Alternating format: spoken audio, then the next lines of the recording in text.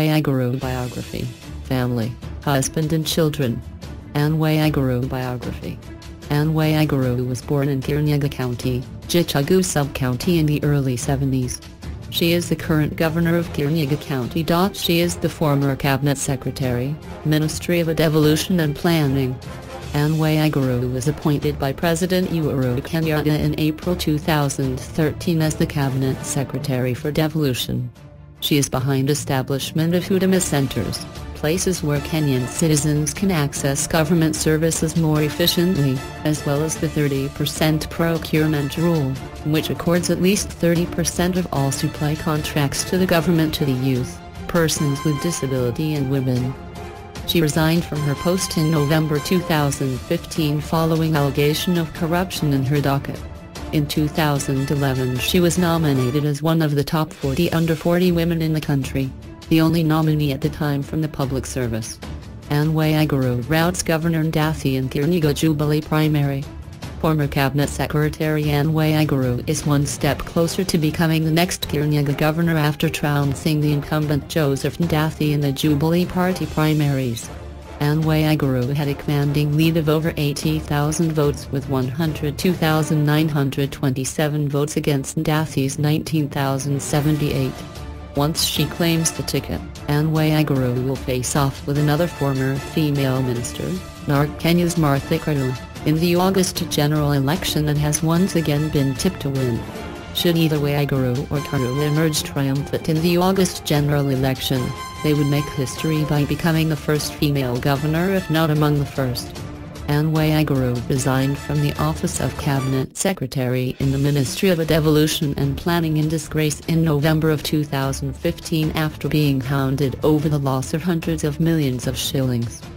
At the time Anne Waiguru was categorical that she was forced to resign not out of a sense of responsibility for the lost funds but as a result of the political pressure she felt once it became public knowledge. The fight against corruption eventually mutated into the fight against Anne Waiguru. She said at the time.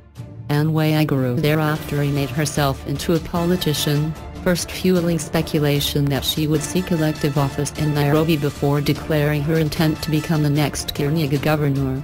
Anne education background 1.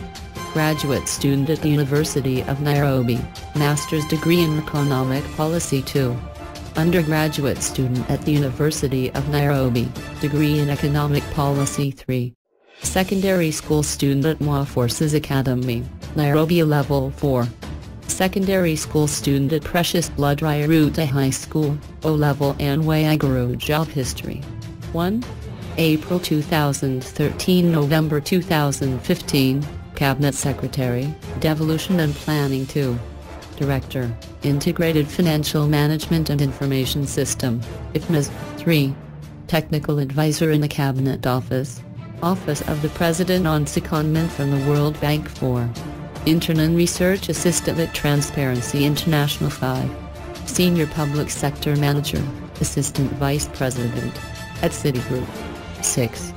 Head of Governance and the Economic Stimulus Program at the National Treasury. 7 She provided technical assistance to the Public Service Reform Secretariat in what was then the Cabinet Office. Anne Waiguru career Ms. Anne Waiguru began her career in the public service by providing technical assistance to the Public Service Reform Secretariat in what was then the Cabinet Office. Since then she has variously served as the head of governance and the economic stimulus program at the National Treasury, alternate to the permanent secretary, National Treasury in the Public Procurement Oversight Authority and Advisory Board and the Women Enterprise Fund Board. Further, in view of her distinguished public career, she was successfully nominated two years ago as one of the top 40 under 40 women in the country, the only nominee at the time from the public service. Ms. Anne is published and has her academic background and experience in economics and public policy. She holds a master's degree in economic policy from the University of Nairobi, and has specialized experience in the public finance, financial management systems, public service reform, capacity building and governance.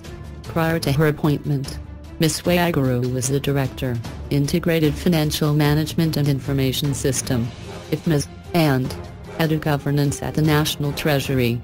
She served briefly as a senior public sector manager, assistant vice president, at Citigroup. Previously, Ms. Waiguru served as a technical advisor in the Cabinet Office, Office of the President on secondment from the World Bank. In the past two years, Ms. Waiguru led her IFMS team at the National Treasury to win three awards for exemplary performance in the public service. She was also nominated two years ago, as one of the top 40 under 40 women in the country, the only nominee at the time from the public service. Ms. Waiguru has been published, and has served as the alternate to the Permanent Secretary National Treasury in the Public Procurement Oversight Authority Advisory Board, and the Women Enterprise Fund Board. She won the 2017 general election beating the incumbent governor of Kirinyaga to become the new, current governor of Kirinyaga County. Anne Waiguru profile, private life. When she is not busy at work, Anne Waiguru likes reading, traveling dancing and spending time with her three sons Ian, Don and Wabu. Quite the role model she inspires a sense of success in many young ladies in leadership who would love to be in her position one day. Anne Waiguru family of children. Miss Waiguru is a proud mother of three sons, Ian, 17, Don 14 and Wabu, 9. Anne Waiguru Wealth Former Devolution Cabinet Secretary Anne Waiguru has for the first time moved to declare her wealth, insisting that she did not benefit in any way from fraudulent transactions at the National Youth Service, NYS. In an exclusive interview with Citizen TV's Hussein Mohamed, Waiguru said she is worth SH 160 million with liabilities that total to SH 80 million. In terms of assets, including this house which is on loan, I'm worth SH 160 million and the liabilities total to SH 80 million. The net value is therefore nothing to write home about, she said. Waiguru dispelled claims that she had enriched herself from proceeds of corruption at the saying she owned most of the things she has way before joining government. I lived in Rwanda before I joined government and I own a house there. I also drove a Mercedes-Benz before joining government so there is no way I could have benefited from fraudulent transactions at the news, she stated.